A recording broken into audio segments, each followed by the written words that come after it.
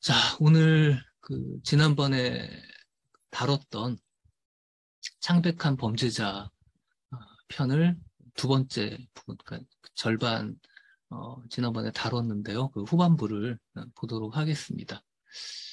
사실 이 창백한 범죄자라는 게 이제 어, 얼굴이 하얗게 질린 그 범죄자죠. 질렸기도 하고 어, 뒤에 문맥을 보면 되게 그 심각하게 이제 병이 든 어, 그런 그, 그 얼굴빛이라고 이제 할 수도 있겠습니다. 그, 어, 이 편이 좀 어려워요. 제가 앞부분은 그래도 좀 그 이해가 되면서 이렇게 읽고 있는데 그 후반부는 상당히 어렵습니다. 그리고 이 편에 대해서 뭐 이런저런 번역이나 해설을 봐도 뭐 별다른 게 없어요. 그래서 더 어렵습니다. 자, 어, 지난번에 몇 가지를 다뤘는데 그 중에 하나가 뭐 이런 구절도 되게 그 우리가 흥미롭게 그 지나 지나치지 말고 확인하고 가야 될 대목인 것 같은데요. 어, 등장인물 중에 이제 가장 여기 중요한 역할을 하는 게 이 당사자, 범죄자 말고 어, 재판관 겸 어떤 그 뭐라고 돼 있죠? 제사장. 예, 재판 어, 하는 사람인데 그 제사장이라는 건 그 희생 제물을 바치는 그런 어, 존재니까요. 이 그 어떤 희생을 바친다는 그 측면, 그러니까 이 범죄자를 대우하는 방식, 그거에 관한 어, 뭐랄까요? 그 니체 그 해석 요게 이제 담겨 있다고 어, 봐도 좋겠습니다. 그러니까 재판관 또는 판사라는 게 어떤 역할을 하는 존재냐. 어, 여기서 이 등장인물이 그 하고 있는 중요한 특징을 이제 요 구절에서 확인할 수 있는데요. 어, 너희는 적이라고 말해야지 악인이라고 말하면 안 된다. 병자라고 말해야지 악당이라고 말하면 안 된다. 바보라고 말해야지 죄인이라고 말하면 안 된다. 어, 이제 그렇게 말하는 존재, 그러니까 여기 나와 있는 음, 지난번에도 잠깐 분류를 해봤지만요. 한 번 더 분류하자면 적, 적이거나 병자거나 바보. 이게 이제 한편에 있고 한편에 이제 악인 또는 뭐 악 이렇게 이제 불러도 상관이 없겠죠. 악당, 죄인 이렇게 이제 이 대립이 있습니다. 그렇죠? 어 그리고 이 대립에서 후자가 지금입니다. 악당, 악인, 악당, 죄인 어, 이라고 부르는 존재가 바로 어, 재판관 겸 판사다. 그렇게 얘기할 수 있습니다. 말하는 존재가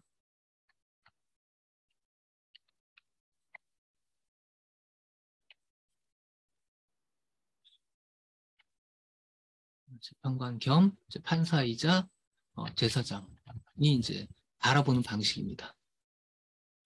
어, 여기서 니체는 이제 그렇게 봐서는 안 된다고 말하는 거죠. 오히려 적, 병자, 바보라고 얘기해야 한다 라고 말하고 있습니다. 그럼 어, 도대체 이 적, 병자, 바보라는 게 뭐냐? 일단 어, 병자라는 건 이제 뒤에 나옵니다. 병든 사람이에요. 아픈 사람입니다. 그리고 이 어, 병자는 그 앞에서도 이제 몇 번 언급됐지만 어, 이 병을 나으면 좋겠는 그런 사람이기도 합니다. 그러니까 근데 병에 걸린 건 뭐 여러 가지 원인이 있지만 일차적으로는 몸이 아픈 거죠. 그리고 이제 몸이 아프다 보니까 어, 그와 연동해서 이제 정신도 어, 아픈 어, 또 영혼도 아픈 그런 사람이다 이렇게 얘기할 수 있습니다. 자, 바보라는 표현은 뭘까? 이거는 일단은 어, 아는 게 없다. 어리석다. 그런 뜻이 있죠. 반대말은 아마 어, 그 인식 하는 사람 또는 뭐 인식 에, 이 해가지고 이렇게 되게 많은 것들을 어, 볼 수 있고 그, 그 보통 그리고 견자란 말을 종종 쓰기, 쓰기도 합니다. 그 견자 또는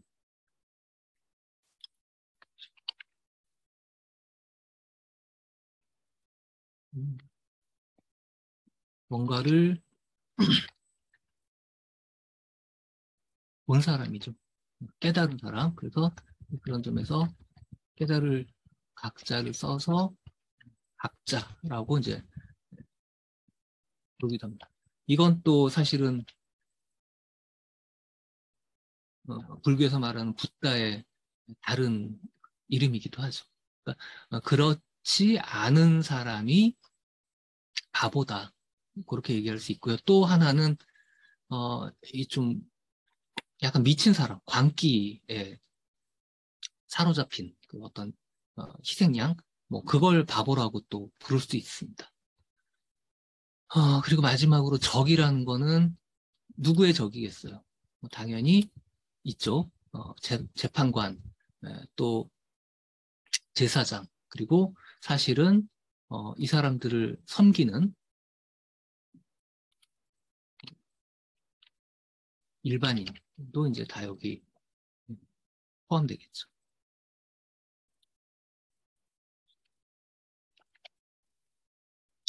여기에 대한 적이다. 적이란 말은 그, 그 맞수, 맞서서 그 싸우고 있는 또는 어, 싸워야 하는 뭐 그런 대상 이렇게 볼 수 있습니다. 자 그렇다면 이제 이거는 어, 이 재판관에 대한 어떤 어, 기본적인 입장은 어, 이 니체가 이제 그 가장 강하고요. 어, 그 다음에 그 어, 이어받아서 들레즈가 많이 얘기를 하는데 꼭 어, 또 이제 다른 한편으로 이 제사장, 예, 제사장 또는 어, 사제입니다.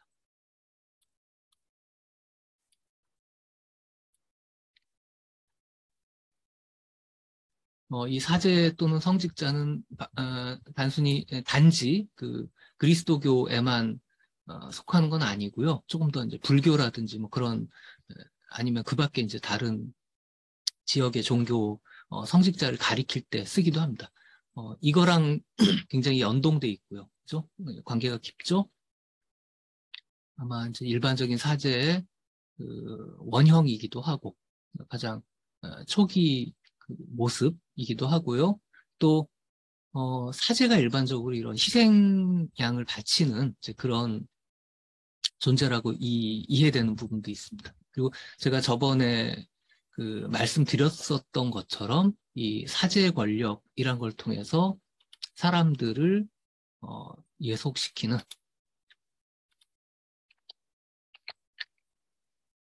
어, 그런 존재라고 얘기할 수 있겠고요. 이걸 어, 잘 분석한 이제 학자들이 철학자들이 스피노자, 니체, 푸코 그리고 이제 둘레즈다 그렇게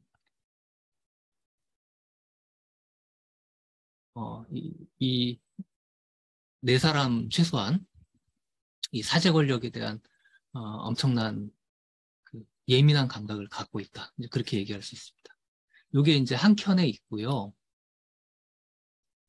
음.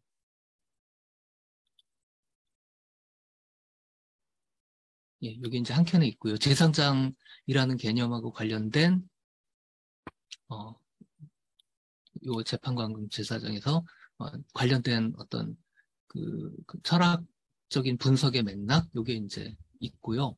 그리고 뭐 제가 이야기 드렸었는지 모르겠지만 이제 스피노자가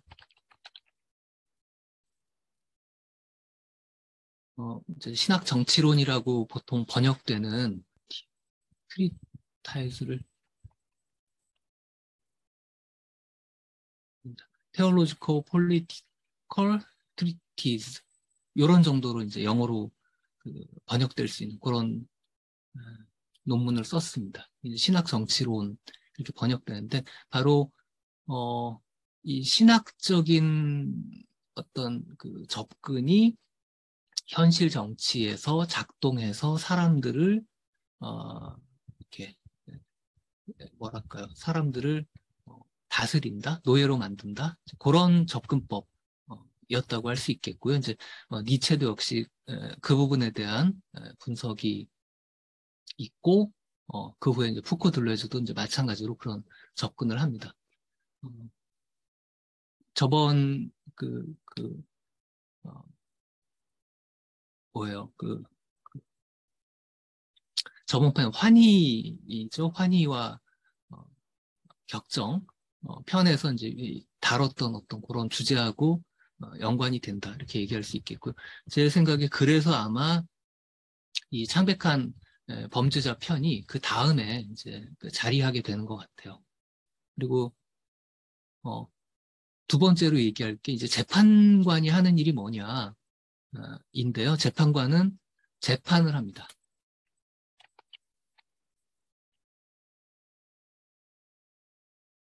영어로 하면 이제 저지먼트인데요. 이게 우리말로는 한편으로는 재판이지만 다른 한편으로는 조금 이제 그 종교적인 어, 맥락에서 번역하면 어, 심판입니다. 그리고 이 심판은 어, 뭐 법 또는 뭐 법률에 따라 하는데 이 법률이 담고 있는 건 당시 그 시대의 도덕이라고 할 수 있고요. 또 어, 마찬가지로 당시의 예, 선악 음, 또는 어, 그 시절에 이제 덕이라고 부르는 것과 악덕이라고 부르는 것 이런 것들을 어, 기준으로 하고 있습니다. 기준.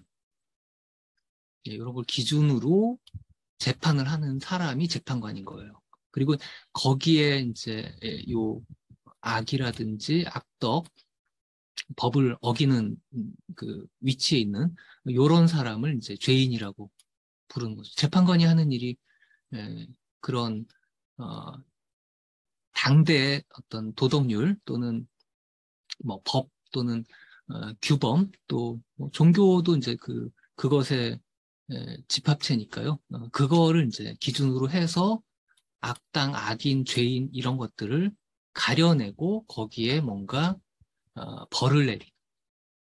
그러니까 심판하고 벌 내리는 것까지 예, 수행하는 존재다라고 얘기할 수 있습니다.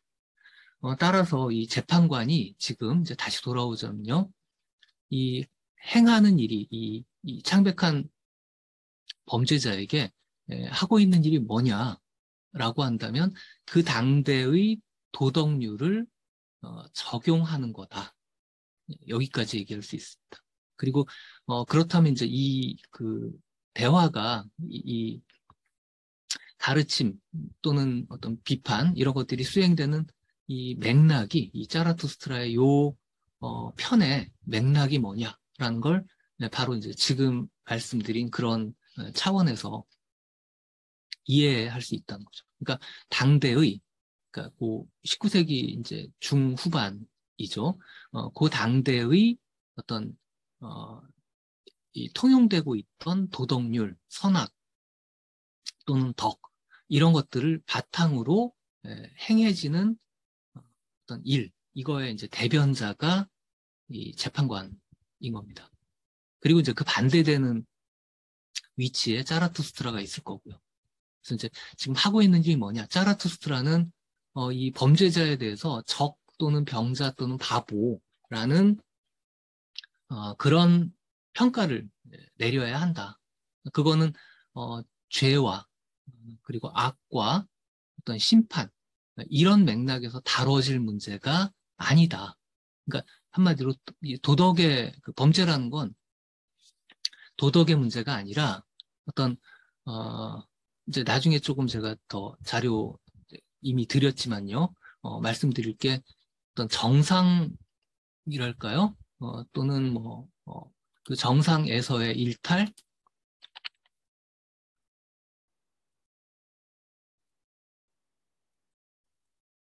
음, 뭐까요 소수. 그러니까 정상, 음, 기준이 되는 것과 이제 대비해서 네, 그렇지 않은 거의 영역으로 이 범죄자를 봐야 한다. 이런 주장으로 예, 갈수 있겠고요. 사실은 어, 이런 주장들은 현대 철학에서 푸코, 어, 둘레즈 이런 사람들이 발전시키고 있는 이제 그런 주제이기도 한 거죠. 그래서 어 제가 이제 아까 이 구절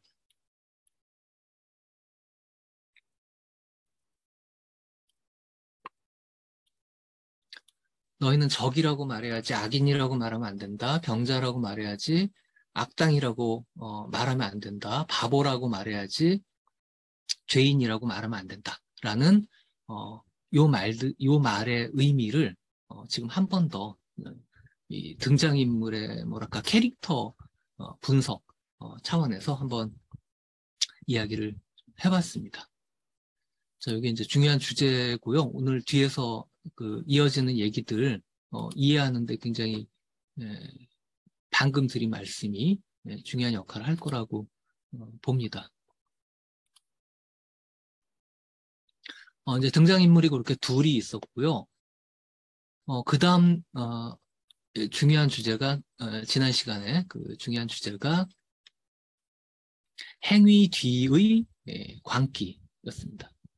어, 이 표현은 제가 독일어로 한 번 더,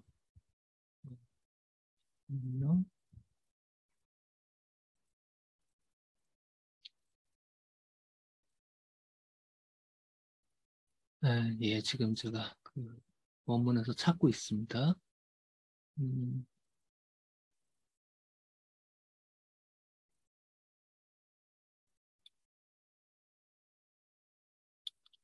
관사는 빼고 니츠가 이제 이렇게 표현하는데요. 여기서 주의할 건요 어, 나흐라는 말이 강조체로 되어 있습니다. 독일어에서 강조체는 어, 격자라고 해서 이제 그 단어를 띱니다.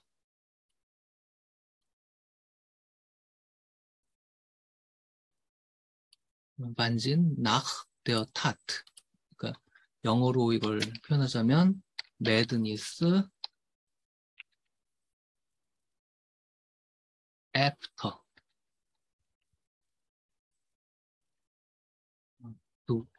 did 이렇게 띄어 어, 말하면 이렇게 됩니다. madness after did. 그러니까 어떤 일을 어, 행한 다음에 예, 예, 그리고 나서 어, 일어나는 그런 일, 광기 그렇게 얘기할 수 있다는 거죠. 어, 이 광기라는 게 아까 제가 말씀드린 바보다라는 말에 예, 관련돼 있는 그 어떤 개념이라고 할 수 있습니다. 이 광기는 그럼 어떻게 작용했느냐? 조금만 돌이키자면 행동을 하고 나서 그 행동에 대해서 떠올릴 때 이제 그 행위의 이미지라고 이야기했죠. 요 행위의 이미지, 지금 과거에 일어난 일을 돌아봤을 때, 그러니까 지금은 그 어, 범죄라는 행동이 일어난 다음이잖아요. 그래서 이, 이 뒤라는 말을 쓴 겁니다. 그 이미지하고 그 다음에 행위 자체, 네. 그리고 이제 그 행동을 해야지라는 그 사전에 품은 어, 생각. 그게 이제 각각 별개다라고 어, 이 짜라투스트라는 얘기하고 있습니다. 그죠? 생각이 있지만 행동으로 옮겨지지 않는 경우가 있고요. 에, 그 행동에 대해서 어, 떠올려 봤는데 그 당시 그 행동이 일어나던 그 당시와는 다른 해석을 에, 덧붙이는 그런 일도 있을 수 있죠. 바로 이 행위 뒤에 광기라고 부른 것은 어, 원래 그 행동할 때의 그 어, 뭐랄까요 이미지 에, 아니죠. 그러니까 그, 그, 의미와 나중에 거기에 부여한 의미가 에, 달라졌다라는 고 어, 차원이 되겠고요. 그다음에 어, 자신을 항상 하나의 행위자로 보았다. 지난번에 그 우리 그 유고에 노트에 나와 있던 내용하고 연결할 수 있는데요. 어, 그 하나의 행위의 행위자는 예외, 하나의 행위를 한 건 맞는데 예, 그 하나의 행위가 전적으로 그 사람의 그, 어, 속하기보다는 그 사람이 어떻게 하다 보니까 그렇게 했던 그런 종류의 그 우발적이고 어, 말하자면 그 사람의 이제 그 캐릭터, 굳어 있는 어떤 에, 에, 특성, 어, 이것과는 좀 다른 그 무엇이다. 근데 마치 그 하나의 에, 결과가 그 사람의 전부이고, 어, 그 사람은 오직 어, 온 힘을 다해서 이제 그 행위, 그 범죄를 저질렀다라고 보는 예, 그런 방식이 잘못된 해석이다. 그래서 예외가 본질로 어, 전도된 어, 이런 일에 대해서 비판을 했습니다. 거기까지가 이제 에, 지난 시간에 했던 그 이야기고요. 그 다음에 이제 오늘 살펴보게 될 거는 어, 또 다른 관계입니다. 그건 이제 행위, 앞의 에, 광기.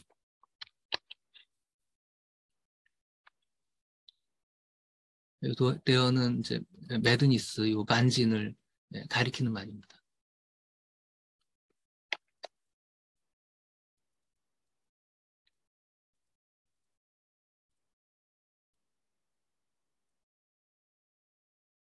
그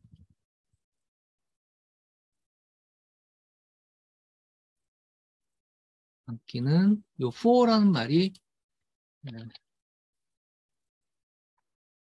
앞에 걸로 하면 네, before 발음이 똑같죠? for 음, 독일어에도 before라는 말이 있습니다. 영어 before에 그대로 대응하는 말인데요. 자, 행위 앞의 예, 광기 이렇게 부르는 행위 앞에 광기라고 부르는 예, 뭐가 있다라고 얘기합니다. 자, 이 행위 뒤에 광기란 건 좀 전에 제가 말씀드렸죠. 행동하고 난 후에 즉 범죄를 저지르고 난 후에 예, 그 사람이 그때를 떠올리면서 하게 되는 예, 그 어, 생각입니다. 근데 어, 그렇다면 행위 앞에 광기는 뭐냐? 이 비포란 말도 영어에 아 비포란 말만 쓰면 그 헷갈리실 수도 있겠네요. before이기도 하고요. 어, in front of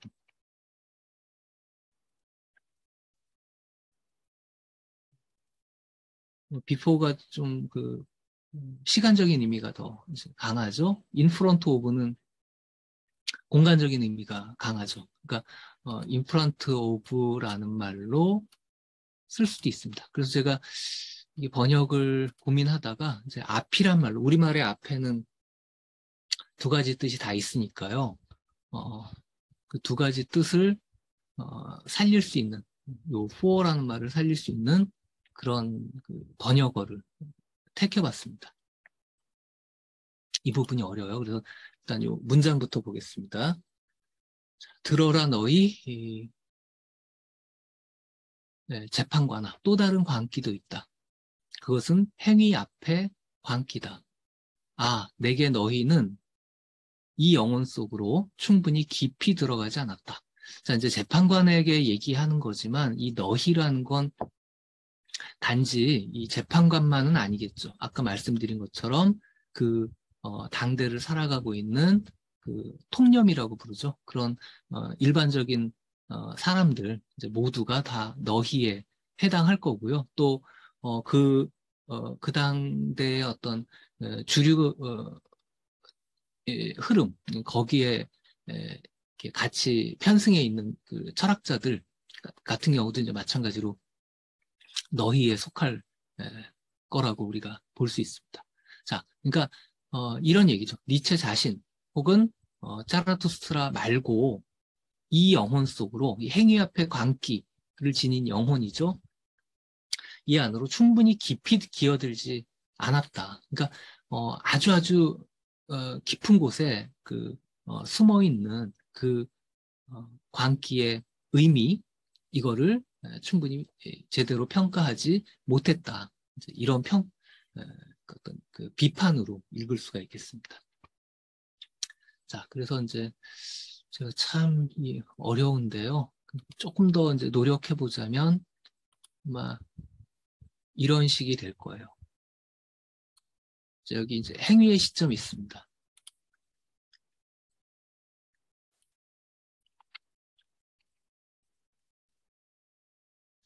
그다음에 이제 시간의 순서가 이쪽이 과거 쪽이고 이제 이쪽이 미래 쪽이라고 쳐봐요. 그랬을 때 네, 시간이 이렇게 이 방향으로 이제 가는 겁니다.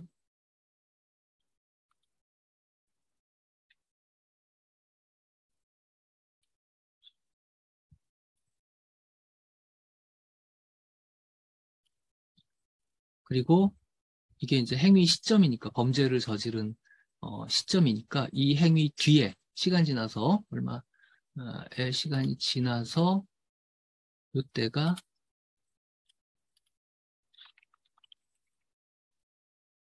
이미지가 이제 떠오르게 된 그 시점이 되겠죠. 그러면 이제 행위 앞에 관 행위 앞에 광기의 시점이 어딜까? 자, 시간적으로 보자면 요 행위 앞이라는 건 두 가지가 가능합니다. 하나는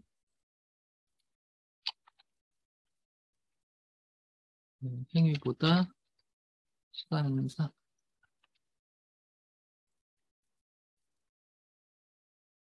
먼저라는 시기적으로 이제 좀그더이 이 이 행위 시점보다 약간 멀 수 있는 떨어질 수 있는 이 떨어지는 그 격차가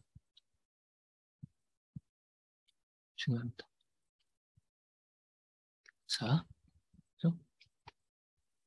자, 이게 있고요. 또 다른 하나는 생각을 바꿔야겠네요. 행위를 바로 두고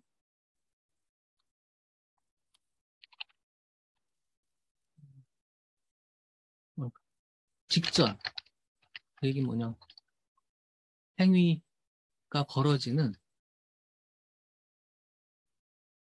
공간 그 시점의 예, 행위가 벌어지는 공간에서라는 의미가 가능합니다. 요, 요 예, 행위 예, 시점 자체가 행위 앞에서 일어난 광기가 어, 작동하는 그 어떤 순간이자 지점이다 이렇게 볼 수 있다는 거죠. 왜 이렇게 복잡한 이야기를 하나 이게? 의아할 수 있습니다. 근데 이제 뒤에 나오게 되는 그 말들을 하나하나 좀 시제와 함께 이제 꼽아 보려면 이 어디냐가 요 행위 직전이라고 봐야 되느냐 행위보다 먼저라고 봐야 되느냐 그리고 어떤 대화가 각 그 발화자마다 어, 대화가 그 자기 얘기를 하잖아요. 그러니까 그 얘기가 일어나는 시점 이것도 이제 궁금합니다. 가령 어, 자 재판관 재판관이 얘기할 때 어디 이, 이 오, 그 다음에 이 범죄자의 이 이성 가난한 이성이요.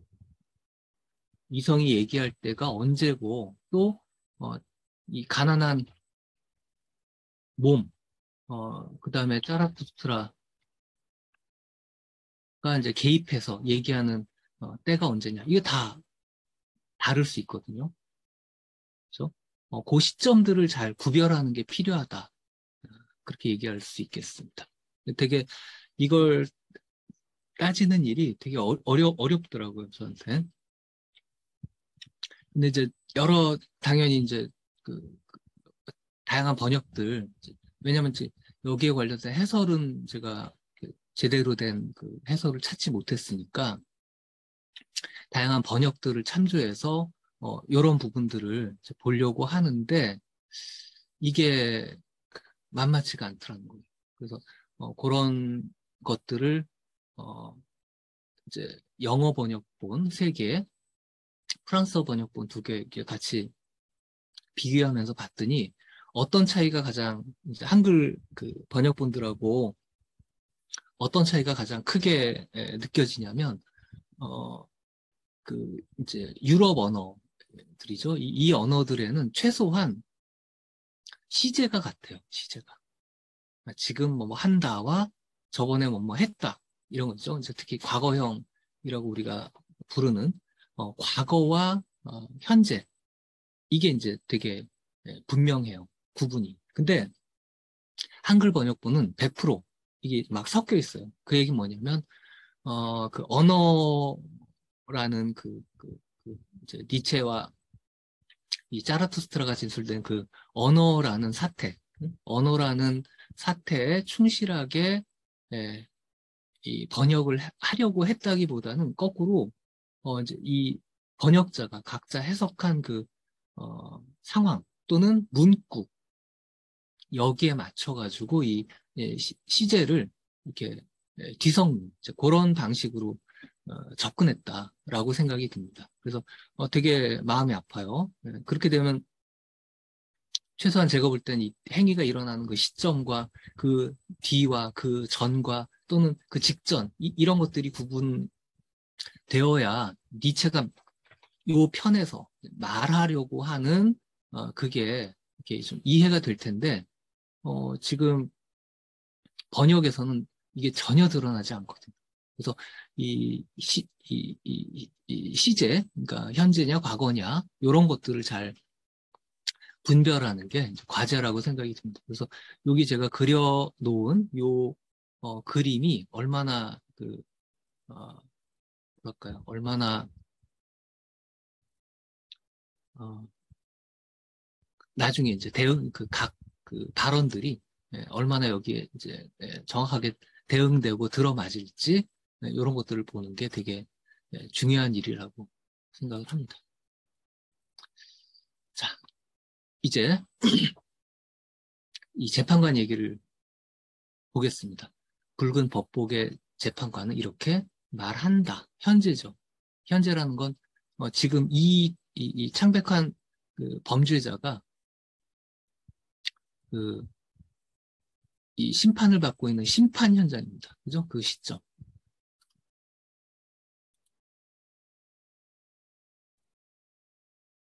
이쯤으로 해둘게요.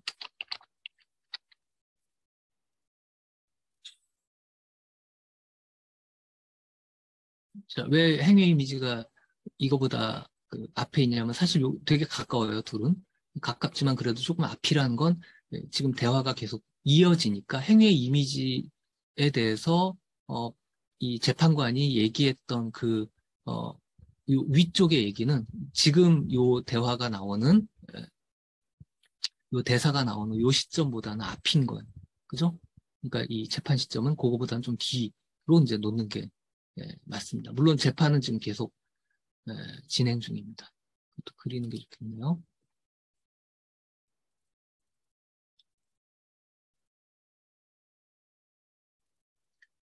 재판은 어느 순간 붙잡혀가지고 재판이 이렇게 진행되고 있습니다.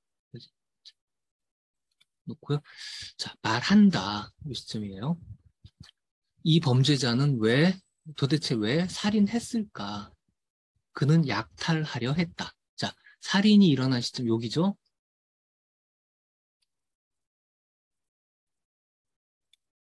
네, 요 시점입니다. 그때 왜 살인했을까? 약탈하려고. 이 약탈은 그러니까 요 시점에 그 범죄자의 그 살인의 이유입니다. 그렇죠? 자, 재판관은 여기서 말해요. 그러면 그 다음 얘기는 뭐냐? 그러나 나는 너희에게 말한다. 이 너희는 일단 재판관들에게 이제 얘기하는 거이기도 하죠. 하지만 동시에 에, 일반인들 그리고 이, 이, 이 범죄자 이제 본인에게까지 그 대상 너희라는 그 청자 어, 대상은 그렇게 세 부류로 우리가 얘기할 수 있습니다. 뭐라고 말하냐면 그의 영혼은 약탈이 아니라 아니랍니다. 피를 욕망했다. 단검의 행복을 갈망했다. 단검이란 말이 독일어로는 라서라고 아, Messer라고 되어 있는데요. 영어로 좀 메스 있죠, 메스. 우리 그 수술할 때 쓰는 그런 아주 날카로운 칼. 그리고 이제 메스 말고 조금 어, 더 그 일반적인 용어로 나이프라고 그럽니다. 우리 그 잭나이프 이렇게 접었다 폈다 하는 그런 칼 있죠. 그러니까 손에 들고 이렇게 예, 휘두를 수 있는 그런 종류의 칼을 어, 지금 니체는 여기서 그, 어, 떠올리고 있습니다. 당연히 뭐 긴 칼 들고 다니다가 사람을 뭐 죽이고 이거는 일상적인 그, 그 상황에선 불가능하니까요. 요, 요 단검이라고 이제 번역하는데 이것도 이제 칼로만 그 옮기면 약간 어, 번역의 그, 그 뉘앙스 이런 것들이 좀 약해지는 것 같습니다. 그래서 네, 나름 메서를 단검이라고 불렀고요. 그러니까 칼을 휘둘러서 뭔가 이 피 자체, 그러니까 어, 그거를 당시에 갈망했다는 거죠. 요 피를 욕망하고 단검의 행복을 갈망했던 갈망, 뭐 갈구, 욕망 다 비슷하게 그 갈 수 있겠죠. 그러니까 그 시점이 여기 아까 그 봤던 요 시점이라는 것도 행위의 시점이 그가 어 사실은 하고자 한그 어, 일은 어 살인 자체 피와 이, 이 단검의 예, 이 칼을 휘두르는 단검을 휘두르는 그런 예, 행복 또는 뭐 글릭이니까 이제 기쁨이기도 해요. 그런 거였다라고 얘기합니다. 그러니까 되게 어, 해석이 다른 거죠. 이 재판관은 살인한 이유가 약탈이라고 했는데 이 짜라투스트라는 그게 아니라 피, 그냥 순수한 그 행동 자체를 예, 욕망하고 갈망했다라는 겁니다. 자, 여기서 이제 우리가 그 짚어야 될 건 그러면 왜이 어, 범죄자가 어, 이런 살인을, 피를 또 이 단검을 어, 원했을까? 그건 뭔가 약탈하려고 그런 거 아닐까라고 이제 되물을 수 있어요. 근데 자라투스트라는 그게 그 아닙니다. 그냥 어, 순수하게 그 자체가 목적이었다. 그렇게 얘기를 해요. 근데 목적이란 말은 사실 어떤 의, 도 의지 이거하고 이제 직결되어 있는데 어, 니체한테 의지는 비이성적인 그, 그 예, 욕망이죠. 그러니까 어, 우리가 뭘 의도하고 계획해서 어, 떤 일을 하는 게 아니라고 어, 보고 있잖아요. 우리 앞에서 어, 그 얘기는 많이 이제 봤다고 치고요. 의지라는 게 의도하고는 다르고요. 그보다 오히려 비, 음, 그러니까 비, 비성적인 욕망, 이, 이, 이, 우리가 좌지우지 할 수 없는 그런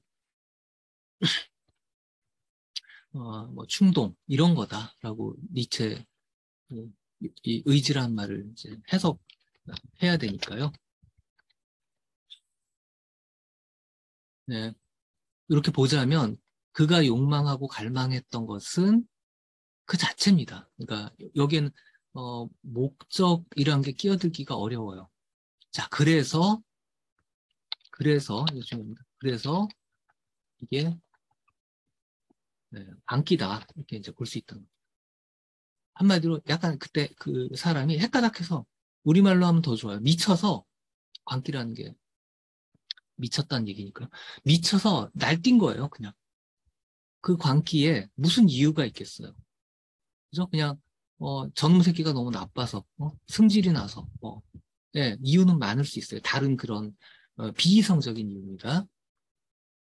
많을 수 있어요. 그러니까 이제 그 살인 현장 그 앞에서 나도 모르게 일어난 어떤 광기의 분출이다. 이렇게 본다면 우리는 이, 이 짜라투스트라가 하는 그 진단과 평가 이게 어, 좀 와닿죠. 네. 그래서 이제 그 부분에서 이성적으로 의도나 어떤 목적을 추구하는 어, 이 방향으로 접근하면 안 된다. 그의 행위에 숨은 의지는 결국은 광기다라고 보고 있는 겁니다. 자, 여기까지 일단 하고 잠깐 네, 쉬겠습니다.